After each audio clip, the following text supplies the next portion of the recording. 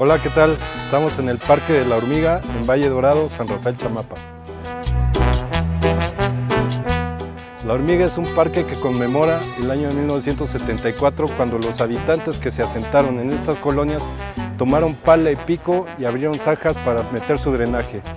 Fue un parque que conmemora la lucha, el trabajo comunitario de los habitantes de Valle Dorado, Chamapa, Cuarta, Sexta y Olimpiada 68.